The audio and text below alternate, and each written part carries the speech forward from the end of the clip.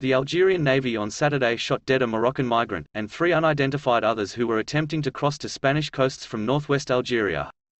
Faouzia Bakoush, 30, died while sustaining a fatal gunshot from the Algeria Navy who had been trying to stop the boat from advancing into Spanish waters.